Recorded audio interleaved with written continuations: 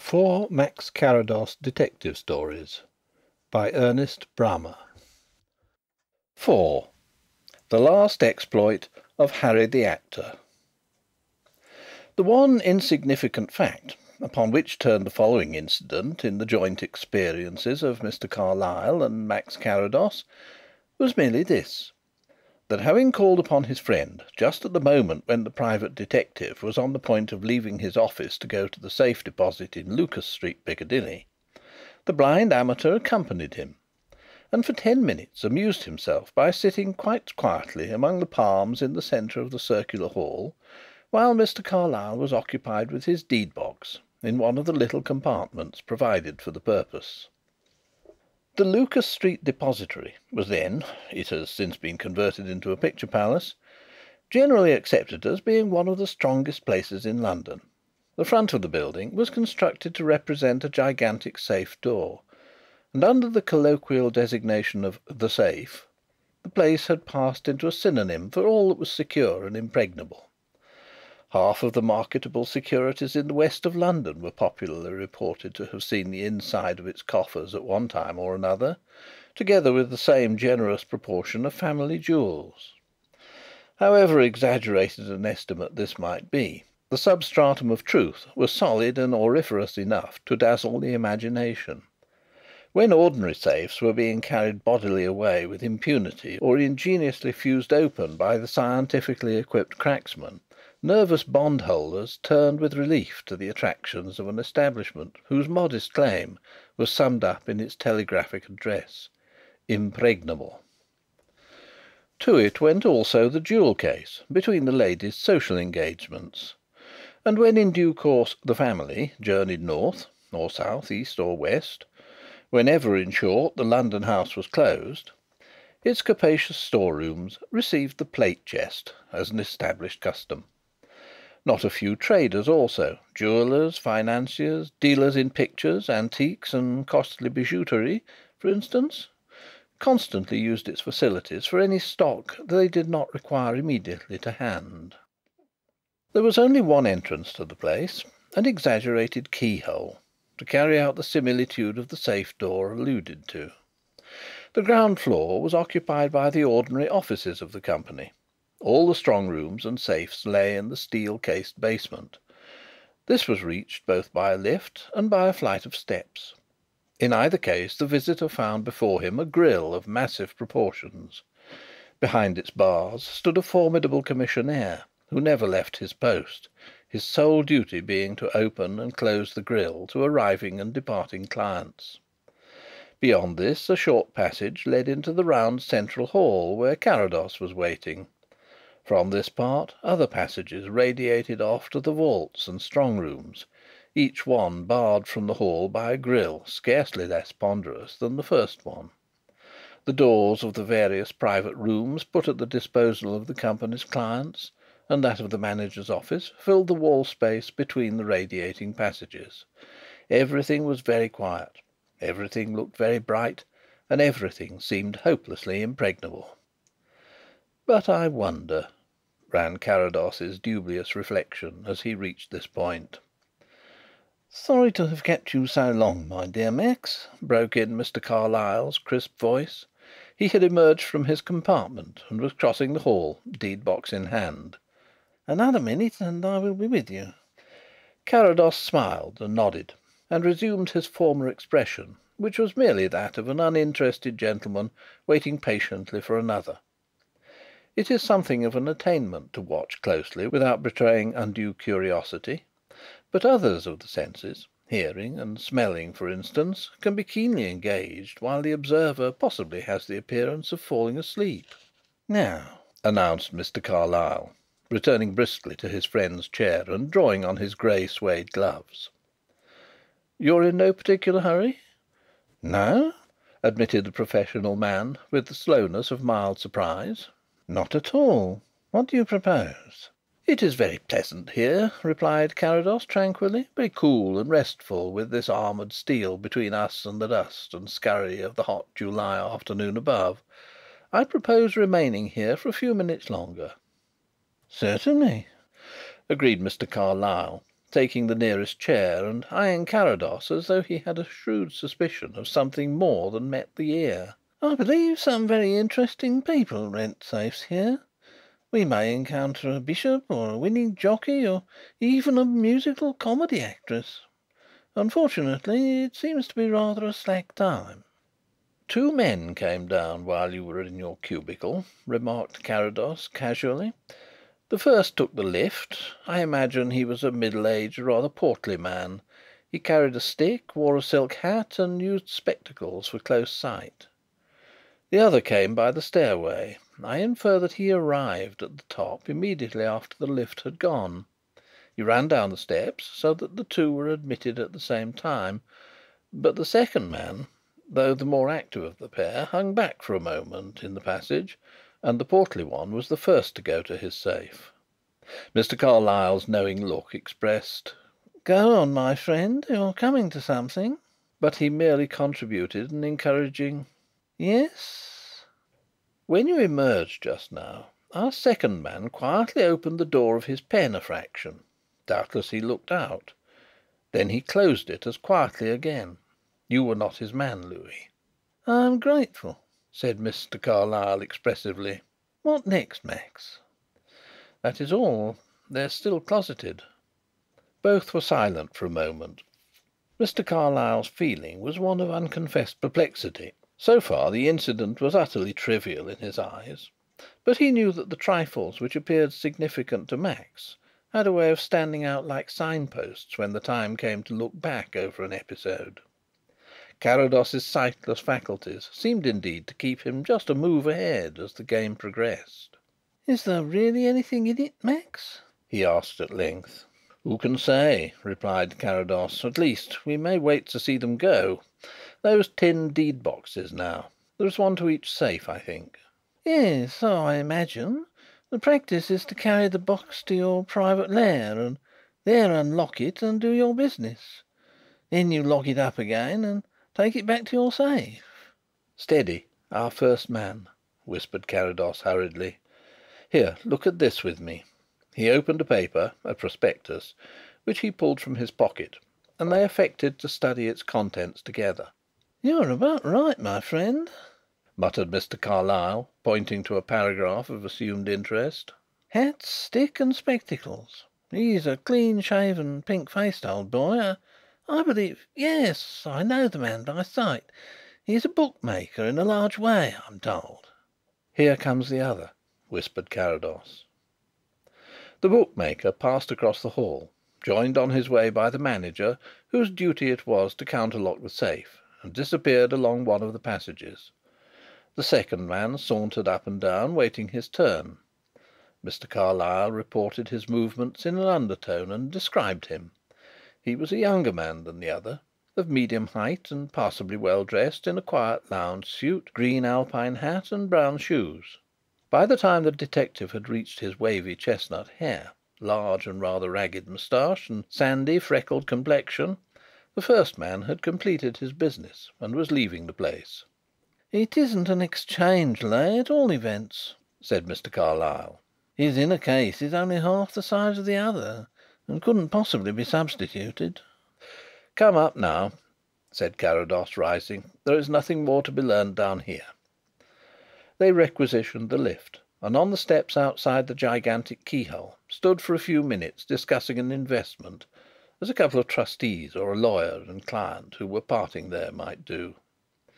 Fifty yards away a very large silk hat with a very curly brim marked the progress of the bookmaker towards Piccadilly. The lift in the hall behind them swirled up again and the gate crashed. The second man walked leisurely out and sauntered away without a backward glance. "He has gone in the opposite direction," exclaimed Mr. Carlyle rather blankly. It isn't the lame goat, nor the follow me on, nor even the homely but efficacious sandbag." "What colour were his eyes?" asked Carrados. "Upon my word I never noticed," admitted the other. "Parkinson would have noticed," was the severe comment. "I am not Parkinson," retorted Mr. Carlyle with asperity. "And strictly as one dear friend to another, Max, permit me to add that while cherishing an unbounded admiration for your remarkable gifts, I have the strongest suspicion that the whole incident is a ridiculous mare's nest, bred in the fantastic imagination of an enthusiastic criminologist." Mr. Carrados received this outburst with the utmost benignity. "Come and have a coffee, Louis," he suggested. "Mehmed's is only a street away." Mehmed proved to be a cosmopolitan gentleman from Mocha, whose shop resembled a house from the outside and an Oriental divan when one was within. A turbaned Arab placed cigarettes and cups of coffee spiced with saffron before the customers, gave salaam, and withdrew. "You know, my dear chap," continued Mr. Carlyle, sipping his black coffee and wondering privately whether it was really very good or very bad, "speaking quite seriously. The one fishy detail, our ginger friend's watching for the other to leave, may be open to a dozen very innocent explanations." "So innocent that to morrow I intend taking a safe myself." "You think that everything is all right?" "On the contrary, I am convinced that something is very wrong." "Then why "I shall keep nothing there, but it will give me the entrée. I should advise you, Louis, in the first place, to empty your safe with all possible speed and in the second to leave your business card on the manager." Mr. Carlyle pushed his cup away, convinced now that the coffee was really very bad. "But, my dear Max, the place the safe is impregnable." "When I was in the States, three years ago, the head porter at one hotel took pains to impress on me that the building was absolutely fireproof. I at once had my things taken off to another hotel. Two weeks later the first place was burnt out. It was fireproof, I believe, but of course the furniture and the fittings were not, and the walls gave way." "Very ingenious," admitted Mr. Carlyle. "But why did you really go? You know you can't humbug me with your superhuman sixth sense, my friend." Carrados smiled pleasantly, thereby encouraging the watchful attendant to draw near and replenish their tiny cups. "Perhaps," replied the blind man, "because so many careless people were satisfied that it was fireproof." "Aha! There you are. The greater the confidence the greater the risk. But only if your self confidence results in carelessness. Now do you know how this place is secured, Max?" "I am told that they lock the door at night," replied Carrados, with bland malice. "And hide the key under the mat to be ready for the first arrival in the morning?" Crowed Mr. Carlyle in the same playful spirit. "Dear old chap. Well, let me tell you " "That force is out of the question? Quite so," admitted his friend. "That simplifies the argument. Let us consider fraud. There again the precautions are so rigid that many people pronounce the forms a nuisance. I confess that I do not. I regard them as a means of protecting my own property and I cheerfully sign my name and give my password, which the manager compares with his record book before he releases the first lock of my safe. The signature is burned before my eyes in a sort of crucible there. The password is of my own choosing and is written in a book that no one but the manager ever sees, and my key is the sole one in existence." "No duplicate or master key?" "Neither.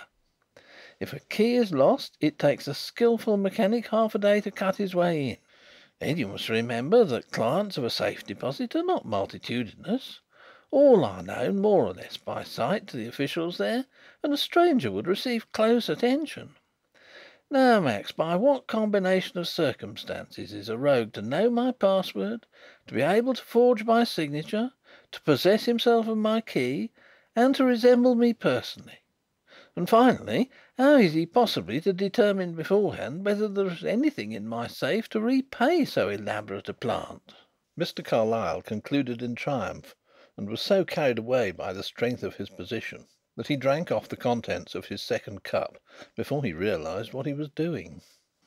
"At the hotel I just spoke of," replied Carrados, "there was an attendant whose one duty in case of alarm was to secure three iron doors. On the night of the fire he had a bad attack of toothache and slipped away for just a quarter of an hour to have the thing out. There was a most up to date system of automatic fire alarm.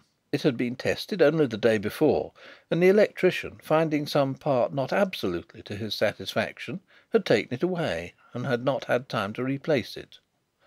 The night watchman, it turned out, had received leave to present himself a couple of hours later on that particular night, and the hotel fireman, whose duties he took over, had missed being notified.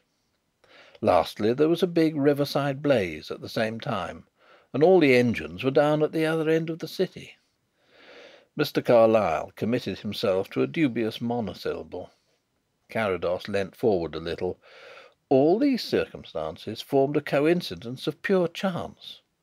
Is it not conceivable, Louis, that an even more remarkable series might be brought about by design?" "Our tawny friend?" "Possibly. Only he was not really tawny." Mr. Carlyle's easy attitude suddenly stiffened into rigid attention. He wore a false moustache."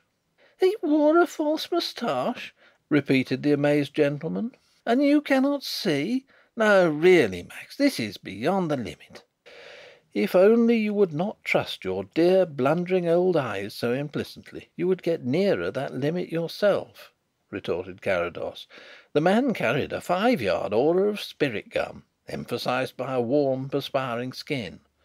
That inevitably suggested one thing. I looked for further evidence of making up, and found it. These preparations all smell. The hair you described was characteristically that of a wig, worn long to hide the joining and made wavy to minimise the length. All these things are trifles. As yet we have not gone beyond the initial stage of suspicion. I will tell you another trifle. When this man retired to a compartment with his deed box, he never even opened it. Possibly it contained a brick and a newspaper. He is only watching." "Watching the bookmaker?" "True. But it may go far wider than that. Everything points to a plot of careful elaboration." "Still, if you are satisfied " "I am quite satisfied," replied Mr. Carlyle gallantly. "I regard the safe almost as a national institution and as such I have an implicit faith in its precautions against every kind of force or fraud." So far Mr. Carlyle's attitude had been suggestive of a rock, but at this point he took out his watch, hummed a little to pass the time, consulted his watch again, and continued: "I am afraid that there were one or two papers which I overlooked. It would perhaps save me coming again to morrow if I went back now." "Quite so acquiesced Carrados, with perfect gravity. "I will wait for you." For twenty minutes he sat there, drinking an occasional tiny cup of boiled coffee, and to all appearance placidly enjoying the quaint atmosphere which Mr. Mehmed had contrived to transplant from the shores of the Persian Gulf. At the end of that period Carlyle returned, politely effusive about the time he had kept his friend waiting, but otherwise bland and unassailable. Anyone with eyes might have noticed that he carried a parcel of about the same size and dimensions as the deed box that fitted his safe. The next day Carrados presented himself at the Safe Deposit as an intending renter.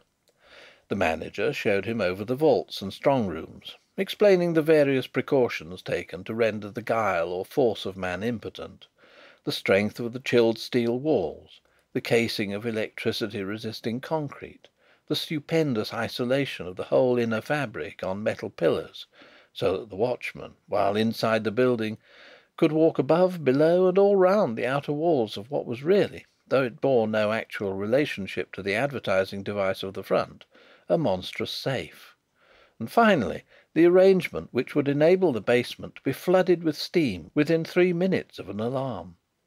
These details were public property. The safe was a show place, and its directors held that no harm could come of displaying a strong hand.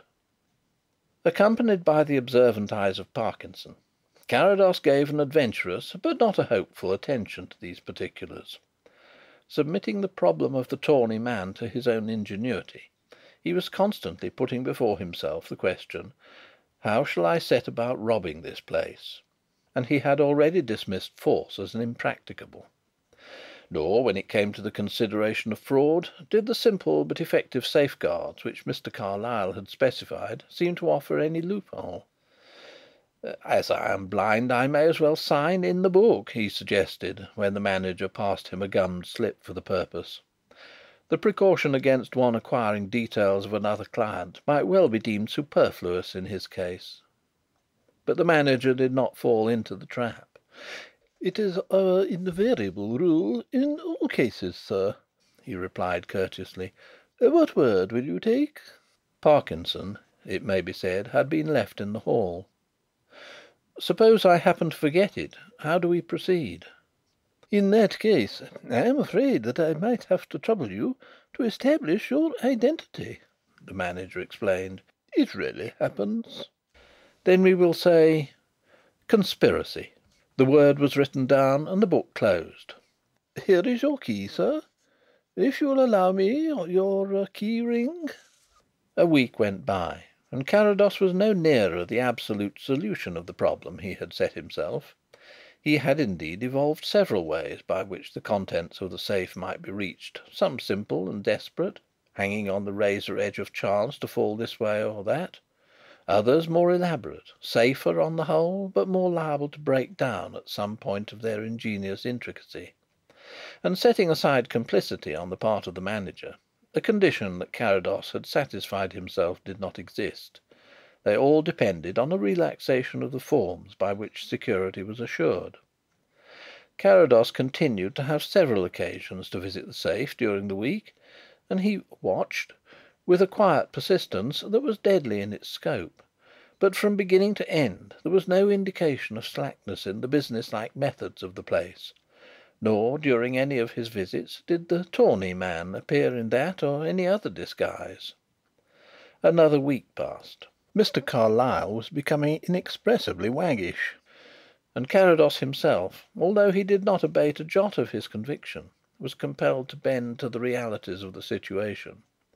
The manager, with the obstinacy of a conscientious man, who had become obsessed with the pervading note of security, excused himself from discussing abstract methods of fraud. Carrados was not in a position to formulate a detailed charge. He withdrew from active investigation, content to await his time. It came, to be precise, on a certain Friday morning, seventeen days after his first visit to "The Safe."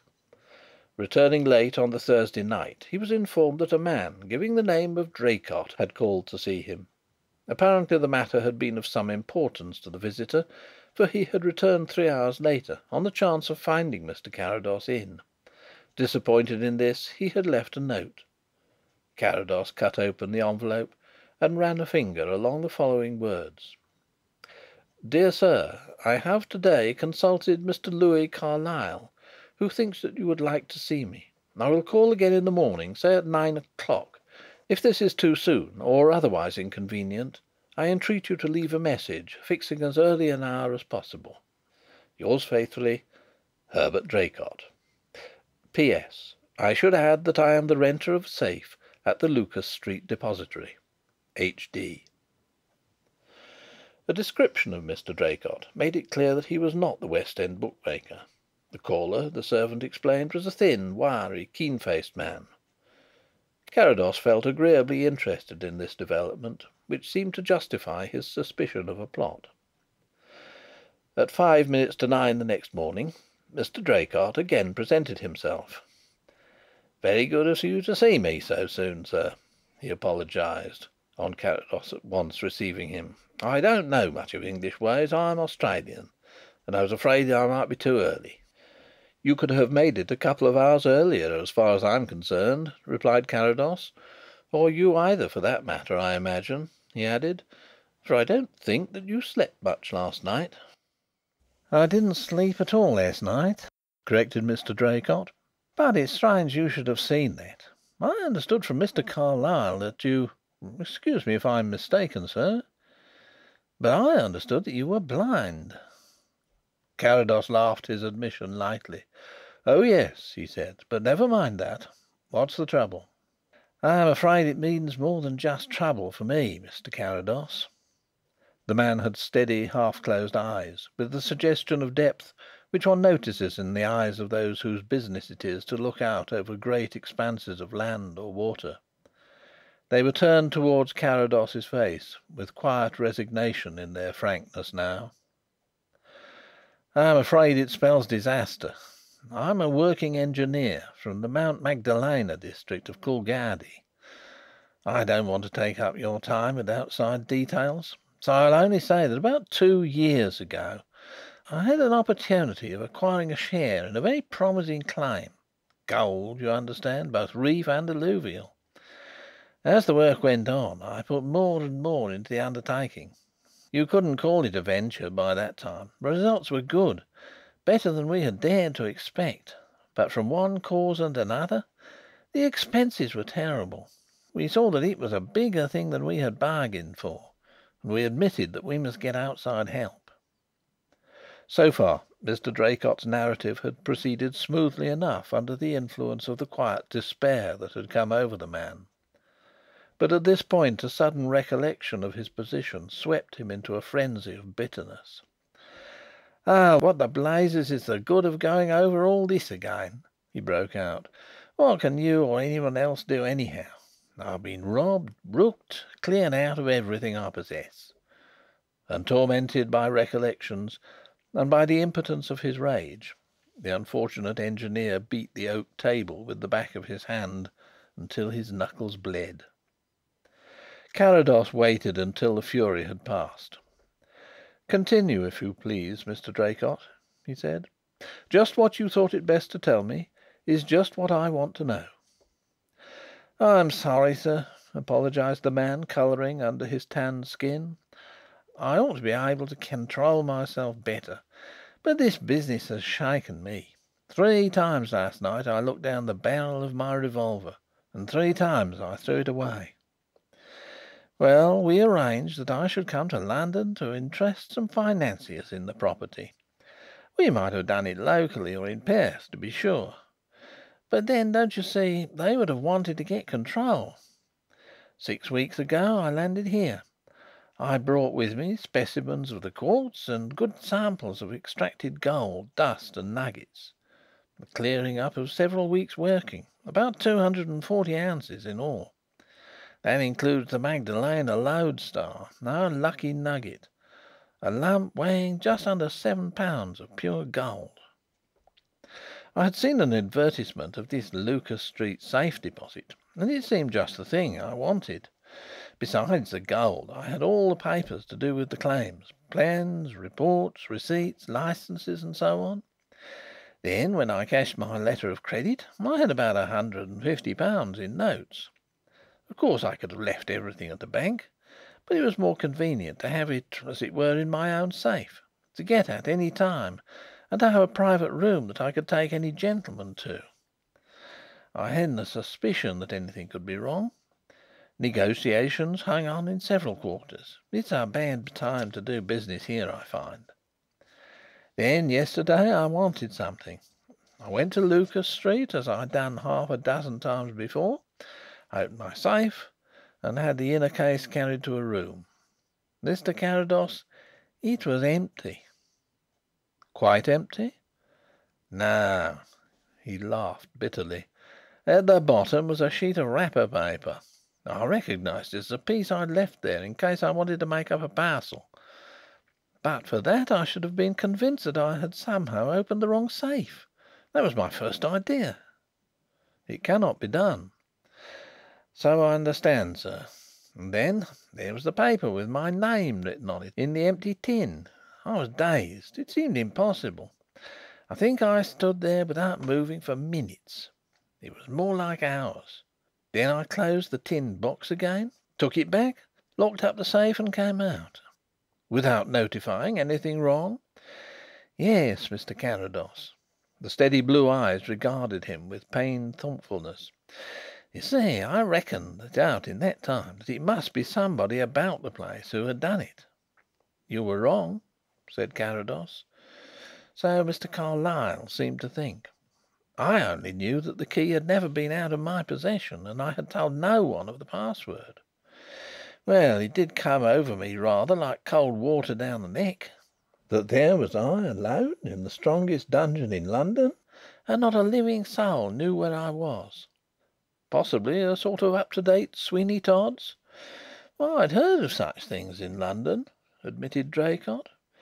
"Anyway, I got out. It was a mistake. I see it now. Who's to believe me as it is? Sounds a sort of unlikely tale. And how do they come to pick on me to know what I had? I don't drink or open my mouth or hell around. It beats me." "They didn't pick on you. You picked on them," replied Carrados. "Never mind how. You'll be believed all right. But as for getting anything back " The unfinished sentence confirmed Mr. Draycott in his gloomiest anticipations. "I have the numbers of the notes," he suggested, with an attempt at hopefulness. "They can be stopped, I take it?" "Stopped yes," admitted Carrados. "And what does that amount to? The banks and the police stations will be notified, and every little public house between here and Land's End will change one for the scribbling of John Jones across the back. No, Mr. Draycott, it's awkward, I dare say, but you must make up your mind to wait until you can get fresh supplies from home. Where are you staying?" Draycott hesitated. "I have been at the Abbotsford in Bloomsbury up to now," he said, with some embarrassment. "The fact is, Mr. Carrados, I think I ought to have told you how I was placed before consulting you, because I I see no prospect of being able to pay my way. Knowing that I had plenty in the safe, I ran it rather close. I went chiefly yesterday to get some notes. I have a week's hotel bill in my pocket and " he glanced down at his trousers. "I have ordered one or two other things, unfortunately." "That will be a matter of time, doubtless," suggested the other encouragingly. Instead of replying, Draycott suddenly dropped his arms on to the table and buried his face between them. A minute passed in silence. "It's no good, Mr. Carrados," he said, when he was able to speak. I can't meet it. Say what you like, I simply can't tell those chaps that I've lost everything we had, and ask them to send me more. They couldn't do it if I did. Understand me, sir, the mine is a valuable one. We have the greatest faith in it, but it's gone beyond our depth. The three of us have put everything we own into it. While I'm here they're doing labourer's work for a wage, just to keep going. Waiting oh, my God! waiting for good news from me." Carrados walked round the table to his desk and wrote. Then, without a word, he held out a paper to his visitor. "What's this?"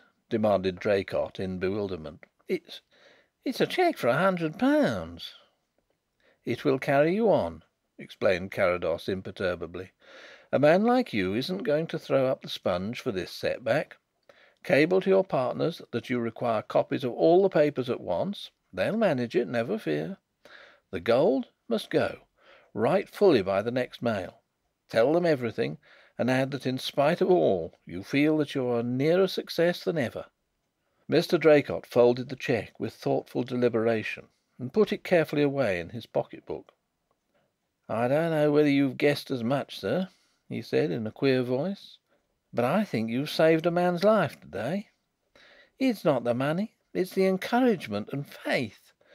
If you could see you'd know better than I can say how I feel about it." Carrados laughed quietly.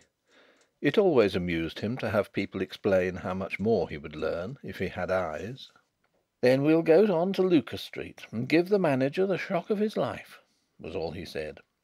"Come, Mr. Draycott, I have already rung up the car. But as it happened, another instrument had been destined to apply that stimulating experience to the manager. As they stepped out of the car opposite "The Safe" a taxi cab drew up, and Mr. Carlyle's alert and cheery voice hailed them. "A moment, Max," he called, turning to settle with his driver a transaction that he invested with an air of dignified urbanity which almost made up for any small pecuniary disappointment that may have accompanied it. "This is indeed fortunate. Let us compare notes for a moment. I have just received an almost imploring message from the manager to come at once. I assumed it was the affair of our colonial friend here, but he went on to mention Professor Holmfast Bulge. Can it really be possible that he has also made a similar discovery?" "What did the manager say?" asked Carrados. He was practically incoherent, but I really think it must be so. What have you done?" "Nothing," replied Carrados. He turned his back on "The Safe" and appeared to be regarding the other side of the street. "There is a tobacconist's shop directly opposite?" "There is." "What do they sell on the first floor?" "Possibly they sell rubbo. I hazard the suggestion from the legend 'Rub in Rubbo for everything,' which embellishes each window." "The windows are frosted?" "They are up to half way up. Mysterious man!" Carrados walked back to his motor car. "While we are away, Parkinson, go across and buy a tin, bottle, box or packet of 'Rubbo.'" "What is 'Rubbo,' Max?" chirped Mr. Carlyle with insatiable curiosity. "So far we do not know. When Parkinson gets some, Louis, you shall be the one to try it." They descended into the basement and were passed in by the grille keeper, whose manner betrayed a discreet consciousness of something in the air. It was unnecessary to speculate why. In the distance, muffled by the armoured passages, an authoritative voice boomed like a sonorous bell heard under water. Uh, "What, however, are the facts?" it was demanding, with the causticity of baffled helplessness. "I am assured that there is no other key in existence, yet my safe has been unlocked. I am given to understand that without the password it would be impossible for an unauthorized person to tamper with my property. My password, deliberately chosen, is Anthropophaginian, sir. Is it one that is familiarly on the lips of the criminal classes? But my safe is empty. Uh, what is the explanation? Who are the guilty persons? What is being done? Where are the police? If you consider that the proper course to adopt is to stand on the doorstep and beckon in the first constable who happens to pass, permit me to say, sir, that I differ from you," retorted the distracted manager. "You may rely on everything possible being done to clear up the mystery. As I told you, I have already telephoned for a capable private detective and for one of my directors." "But that is not enough," insisted the Professor angrily. Will one mere private detective restore my £6,000 a Japanese 4.5 per cent. bearer bonds? Is the return of my irreplaceable notes on polyphyletic bridal customs among the mid Pleistocene cave men to depend on a solitary director? I demand that the police shall be called in, as many as are available. Let Scotland Yard be set in motion. A searching inquiry must be made. I have only been a user of your precious establishment for six months, and this is the result." "There you hold the key of the mystery, Professor Bulge," interposed Carrados quietly. "Who is this, sir?" demanded the exasperated Professor at large. "Permit me," explained Mr. Carlyle with bland assurance. "I am Louis Carlyle, of Bampton Street. This gentleman is Mr. Max Carrados, the eminent amateur specialist in crime." "I shall be thankful for any assistance towards elucidating this appalling business," condescended the Professor sonorously. "Let me put you in possession of the facts." "Perhaps if we went into your room," suggested Carrados to the manager, "we should be less liable to interruption." "Quite so, quite so," boomed the Professor, accepting the proposal on everyone else's behalf. The facts, sir, are these. I am the unfortunate possessor of a safe here, in which a few months ago I deposited, among less important matter, sixty bearer bonds of the Japanese Imperial Loan, the bulk of my small fortune, and the manuscript of an important projected work on polyphyletic bridal customs among the mid Pleistocene cave men. To day I came to detach the coupons, which fall due on the fifteenth, to pay them into my bank, a week in advance, in accordance with my custom. What do I find? I find the safe locked and apparently intact, as when I last saw it a month ago. But it is far from being intact, sir. It has been opened, ransacked, cleared out. Not a single bond, and not a scrap of paper remains. It was obvious that the manager's temperature had been rising during the latter part of this speech, and now he boiled over. "Pardon my flatly contradicting you, Professor Bulge. You have again referred to your visit here a month ago as your last. You will bear witness of that, gentlemen?" When I inform you that the Professor had access to his safe as recently as Monday last, you will recognise the importance that the statement may assume." The Professor glared across the room like an infuriated animal, the comparison heightened by his notoriously hircine appearance. "How dare you contradict me, sir?" He cried, slapping the table sharply with his open hand. "I was not here on Monday." The manager shrugged his shoulders coldly. "You forget that the attendants also saw you," he remarked. "Can we not trust our own eyes?" "A common assumption, yet not always a strictly reliable one," insinuated Carrados softly. "I cannot be mistaken." "Then can you tell me, without looking, what colour Professor Bulge's eyes are?" There was a curious and expectant silence for a minute. The Professor turned his back on the manager and the manager passed from thoughtfulness to embarrassment. "I really do not know, Mr. Carrados," he declared loftily at last. "I do not refer to mere trifles like that."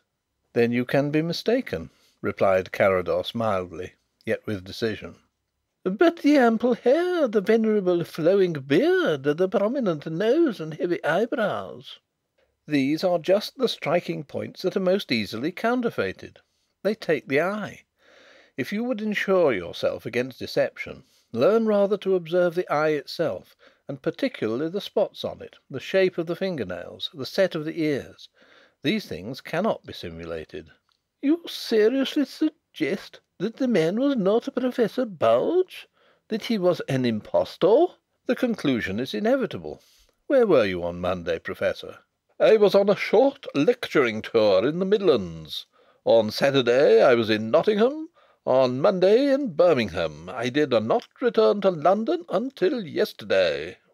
Carrados turned to the manager again and indicated Draycott, who so far had remained in the background. "And this gentleman?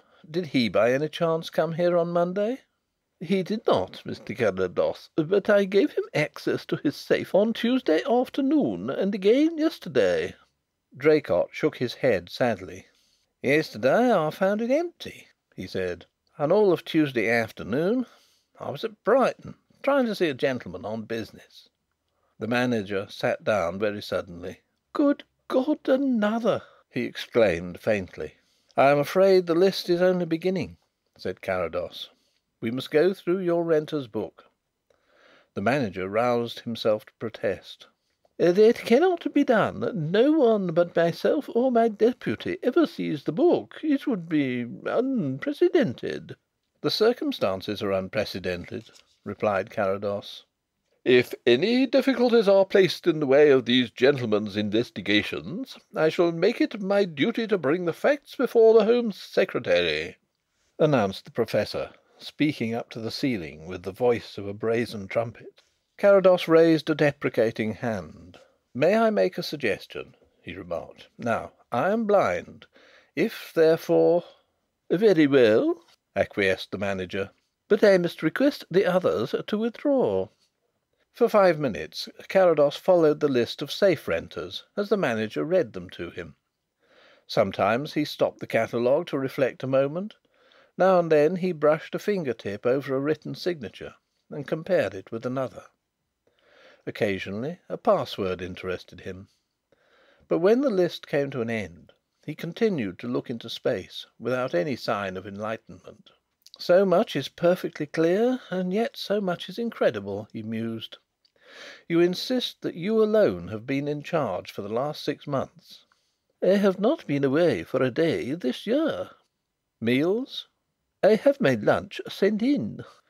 And this room could not be entered without your knowledge while you were about the place?"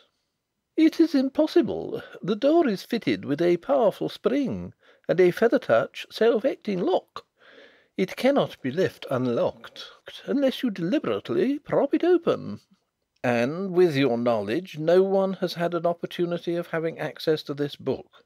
"No," was the reply. Carrados stood up and began to put on his gloves. "Then I must decline to pursue my investigation any further," he said icily. "Why? Why?" stammered the manager. "Because I have positive reason for believing that you are deceiving me."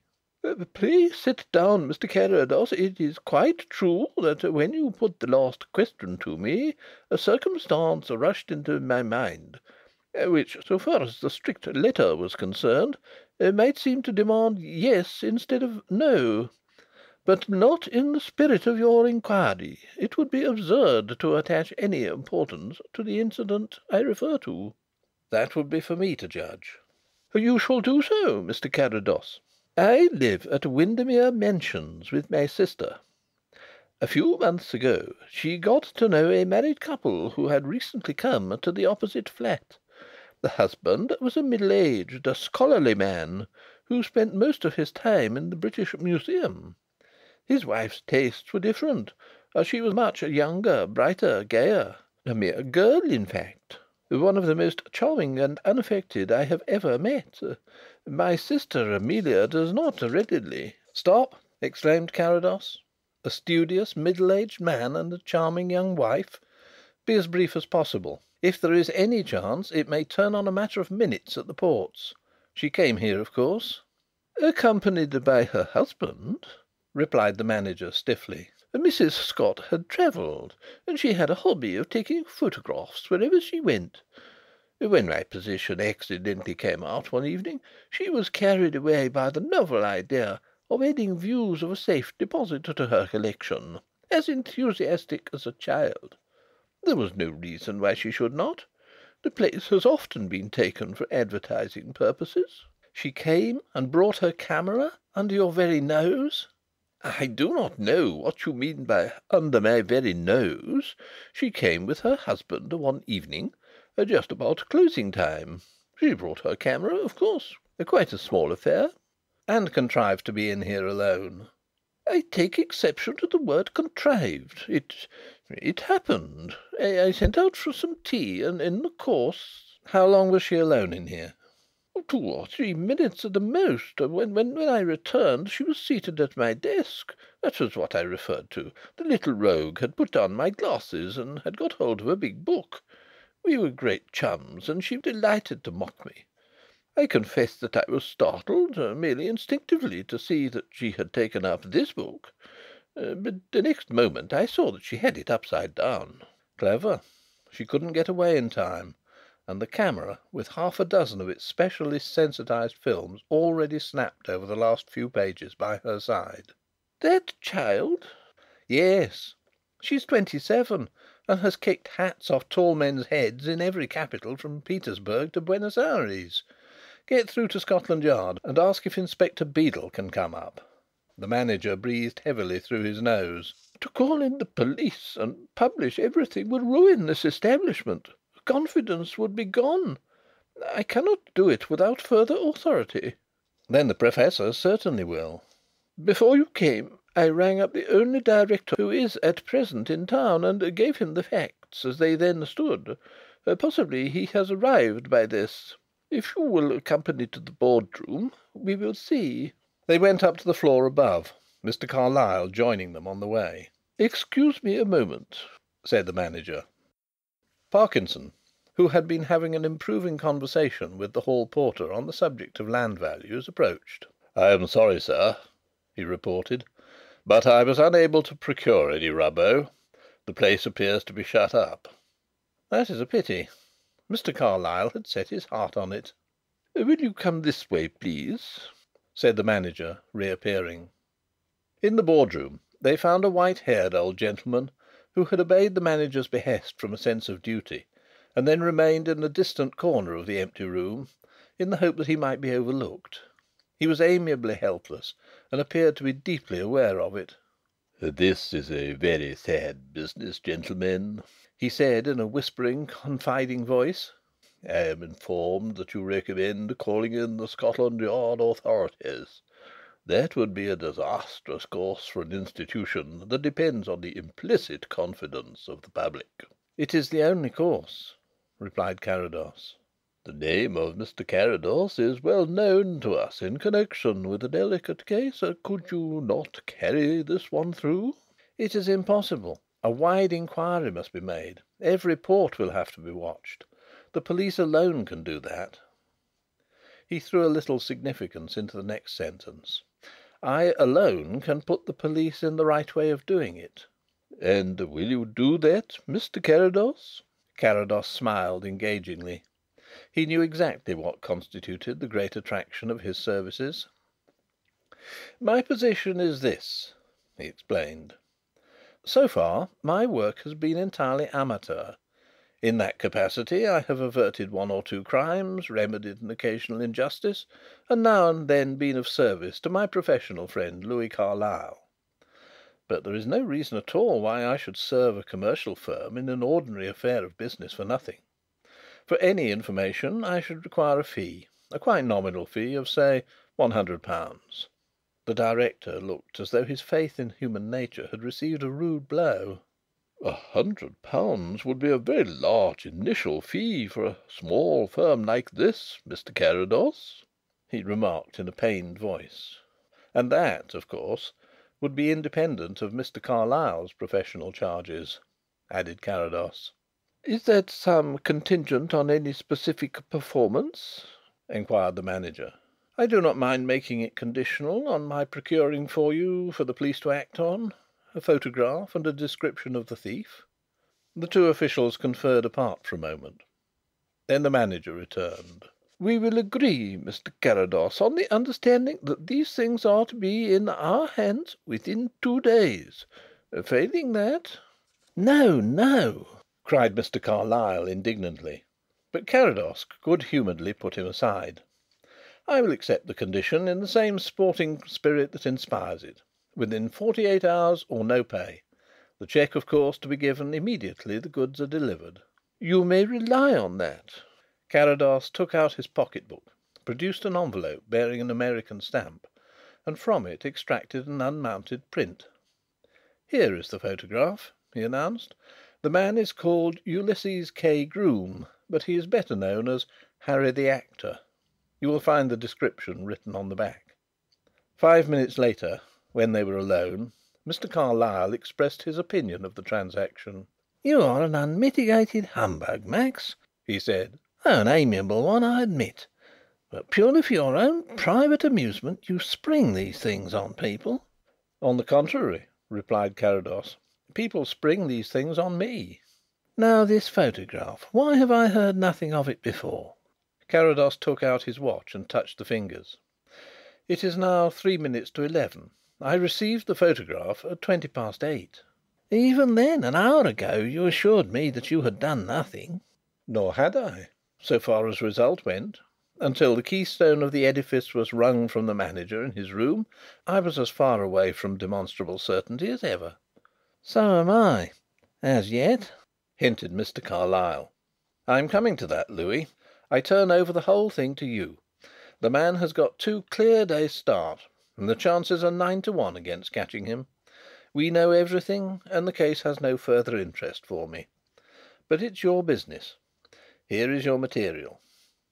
On that one occasion when the "tawny" man crossed our path, I took from the first a rather more serious view of his scope and intention than you did. The same day I sent a cipher cable to Pearson of the New York service.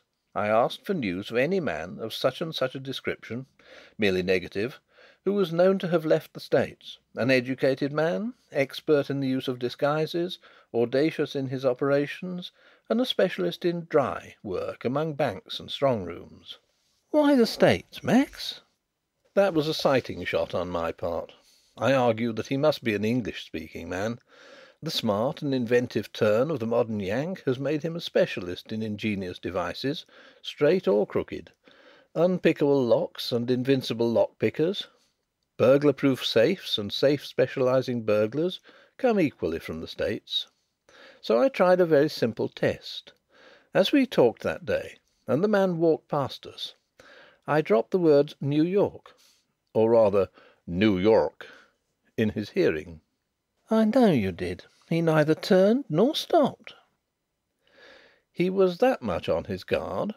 But into his step there came though your poor old eyes could not see it, Louis a psychological pause, an absolute arrest of perhaps a fifth of a second, just as it would have done with you if the word London had fallen on your ear in a distant land. However, the whys and wherefores don't matter. Here is the essential story. Eighteen months ago Harry the actor successfully looted the office safe of Mackenzie, J.F. Higgs & Co., of Cleveland, Ohio. He had just married a smart but very facile third rate vaudeville actress, English by origin, and wanted money for the honeymoon.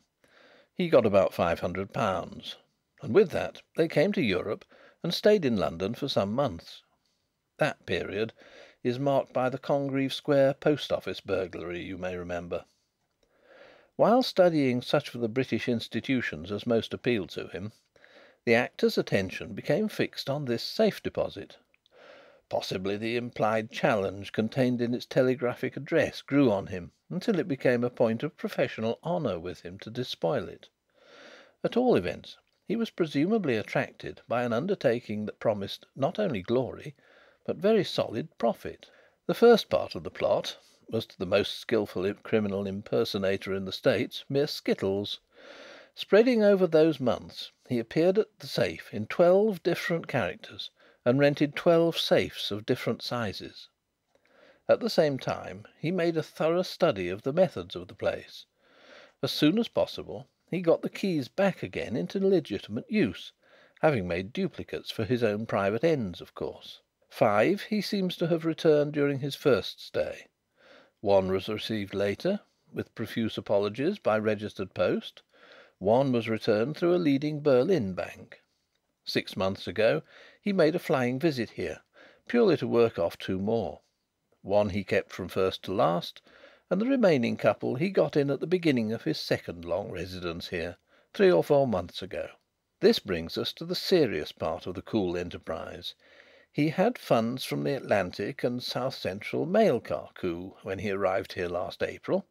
He appears to have set up three establishments: a home, in the guise of an elderly scholar with a young wife (which, of course, was next door to our friend the manager); an observation point, over which he plastered the inscription "Rub in Rubbo for everything," as a reason for being; and somewhere else a dressing room with essential conditions of two doors into different streets.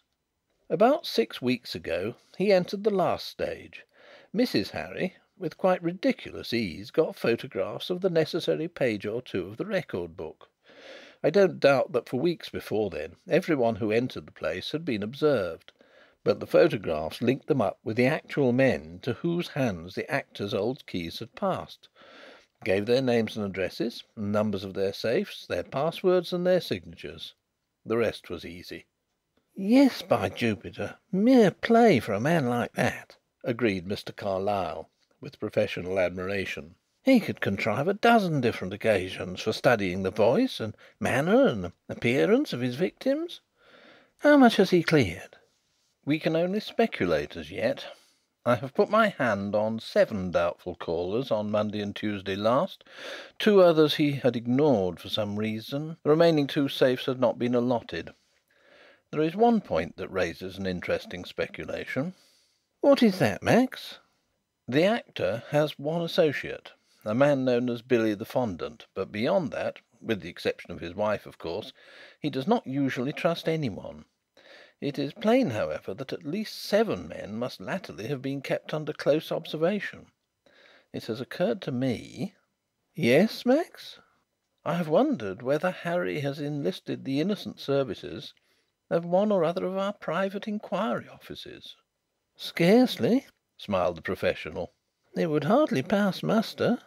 "Oh, I don't know. Mrs. Harry, in the character of a jealous wife or a suspicious sweetheart, might reasonably Mr. Carlyle's smile suddenly faded. "By Jupiter!" he exclaimed. "I remember "Yes, Louis?" prompted Carrados, with laughter in his voice. "I remember that I must telephone to a client before Beedel comes," concluded Mr. Carlyle, rising in some haste. At the door he almost ran into the subdued director, who was wringing his hands in helpless protest at a new stroke of calamity. "Mr. Carrados!" wailed the poor old gentleman in a tremulous bleat.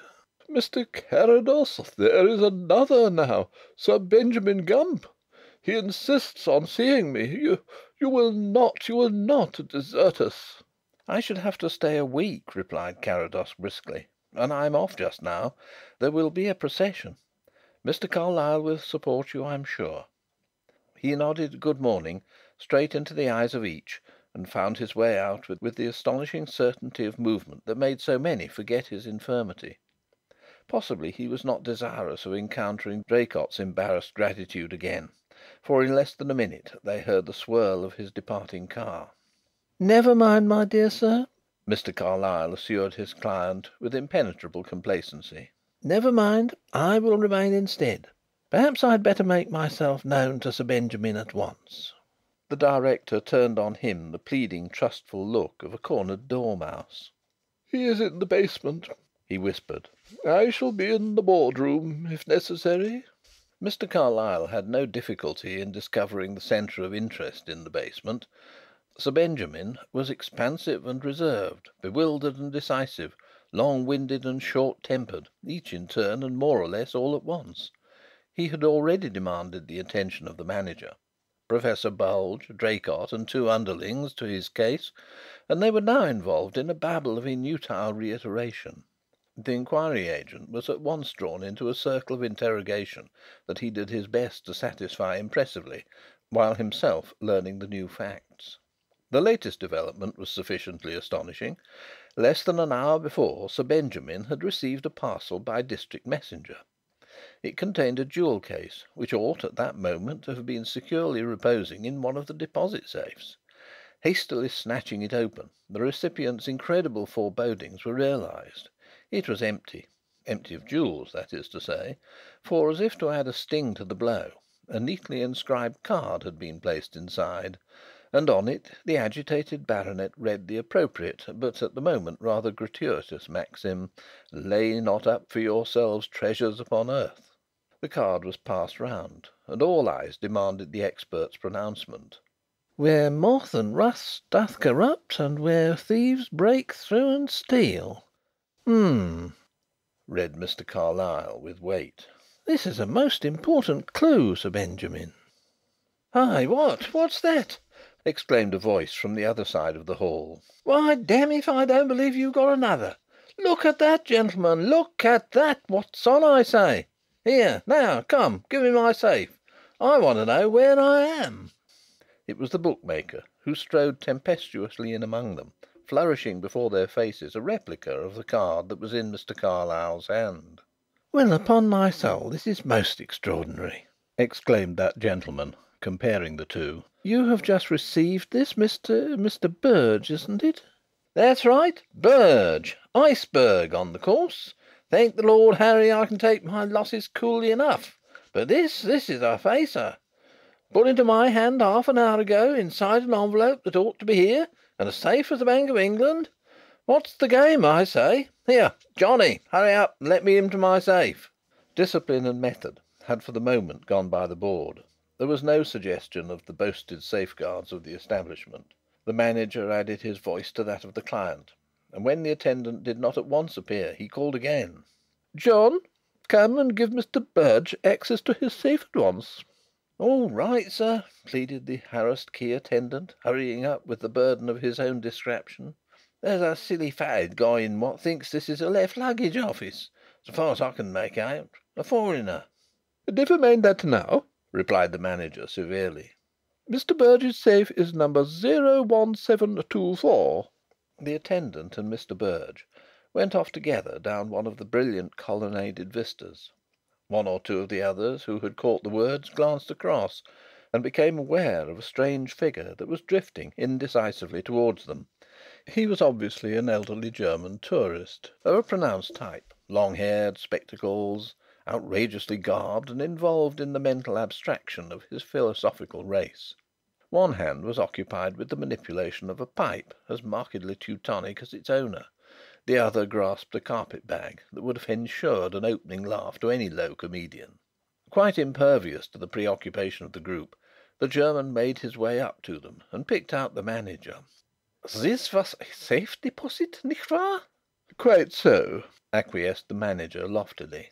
"But just now "Your fellow has a dense comprehension." The eyes behind the clumsy glasses wrinkled to a ponderous humour.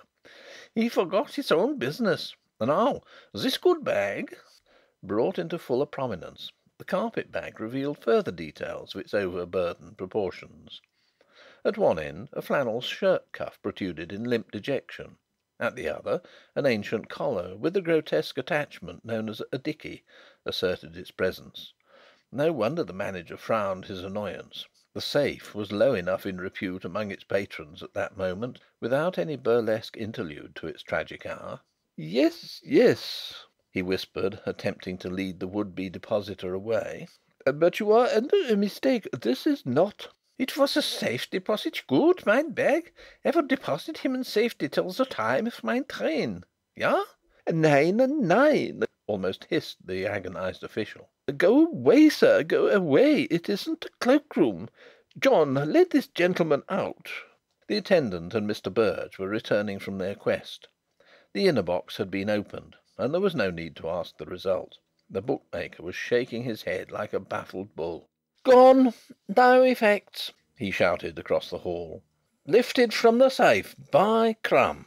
To those who knew nothing of the method and operation of the fraud, it seemed as if the financial security of the capital was tottering.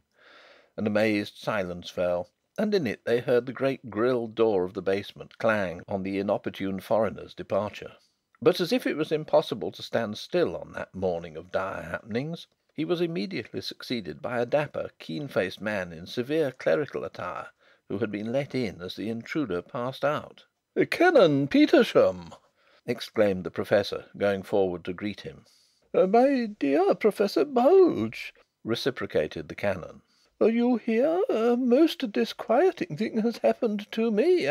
I must have my safe at once." He divided his attention between the Manager and the Professor as he monopolised them both. "A most disquieting and outrageous circumstance. My safe, please. Yes, yes, Reverend Henry Noakes Petersham. I have just received by hand a box. A small box of no value, but one I thought Yes, I am convinced that it was the one. A box that was used to contain certain valuables of family interest, which should at this moment be in my safe here, number 7436. Very likely, very likely. Yes, here is my key. But not content with the disconcerting effect of that, Professor, the box contained and I protest that it's a most unseemly thing to quote any text from the Bible in this way to a clergyman of my position well, here it is. Lay not up for yourselves treasures upon earth. Why, I have a dozen sermons of my own in my desk now on that very verse. I am particularly partial to the very needful lesson that it teaches. And to apply it to me! It's monstrous!" "Number seven four three six, John," ordered the Manager with weary resignation. The attendant again led the way towards another armour plated aisle. Smartly turning a corner, he stumbled over something, bit a profane exclamation in two, and looked back. "It's that blooming foreigner's old bag again," he explained across the place in an aggrieved apology. "He left it here after all." "Take it upstairs and throw it out when you've finished," said the Manager shortly. "Here, wait a minute," pondered John, in absent minded familiarity. "Wait a minute. This is funny go. There's a label on that wasn't there before. Why not look inside?" "Why not look inside?" repeated someone. "That's what it says." There was another puzzled silence. All were arrested by some intangible suggestion of a deeper mystery than they had yet touched. One by one they began to cross the hall with the conscious air of men who were not curious, but thought they might as well see. "Why, curse my crumpet!" suddenly exploded Mr. Berge, "if that ain't the same writing as these texts!" "By Gad, but I believe you're right," assented Mr. Carlyle. "Well, why not look inside?" The attendant, from his stooping posture, took the verdict of the ring of faces and in a trice tugged open the buckles. The central fastening was not locked, and yielded to a touch. The flannel shirt, the weird collar, and a few other garments in the nature of a top dressing, were flung out, and John's hand plunged deeper. Harry the actor had lived up to his dramatic instinct. Nothing was wrapped up, Nay, the rich booty had been deliberately opened out and displayed, as it were, so that the overturning of the bag, when John the key bearer, in an access of riotous extravagance, lifted it up, and strewed its contents broadcast on the floor, was like the looting of a smuggler's den, or the realisation of a speculator's dream, or the bursting of an Aladdin's cave, or something incredibly lavish and bizarre. Bank notes fluttered down and lay about in all directions; relays of sovereigns rolled away like so much dross; bonds and scrip for thousands and tens of thousands of pounds clogged the downpouring stream of jewellery and unset gems; a yellow stone, the size of a four pound weight and twice as heavy, dropped plump upon the canon's shoes and sent him hopping and grimacing to the wall; a ruby hilted kriss cut across the manager's wrist as he strove to arrest the splendid rout. Still the miraculous cornucopia deluged the ground with its pattering, ringing, bumping, crinkling, rolling, fluttering produce, until, like the final tableau of some spectacular ballet, it ended with a golden rain that masked the details of the heap between a glittering veil of yellow sand. "My dust!" gasped Draycott. "My fivers, by golly!" ejaculated the bookmaker, initiating a plunge among the spoil. "My Japanese bonds, coupons and all, and yes, even the manuscript of my work on Prophylactic Bridal Customs among the mid Pleistocene Cave Men. Ha!" Something approaching a cachinnation of delight closed the Professor's contribution to the pandemonium, and eye witnesses afterwards declared that for a moment the dignified scientist stood on one foot in the opening movement of a can can. My wife's diamonds! Thank Heaven!" Cried Sir Benjamin, with the air of a schoolboy who was very well out of a swishing. "But what does it mean?" demanded the bewildered canon. "Here are my family heirlooms, a few decent pearls, my grandfather's collection of camei, and other trifles. But who "Perhaps this offers some explanation," suggested Mr. Carlyle unpinning an envelope that had been secured to the lining of the bag. "It is addressed 'To seven rich sinners.' Shall I read it for you?" For some reason the response was not unanimous, but it was sufficient. Mr. Carlyle cut open the envelope. "My dear friends, aren't you glad? Aren't you happy at this moment? Ah yes, but not with the true joy of regeneration that alone can bring lightness to the afflicted soul. Pause while yet there is time. Cast off the burden of your sinful lusts, for what shall it profit a man if he shall gain the whole world and lose his own soul? Mark chapter 8 verse 36. Oh, my friends, you have had an all fired narrow squeak. Up till the Friday in last week I held your wealth in the hollow of my ungodly hand, and rejoiced in my nefarious cunning. But on that day I with my guilty female accomplice stood listening with worldly amusement to the testimony of a converted brother at a meeting of the Salvation Army on Clapham Common.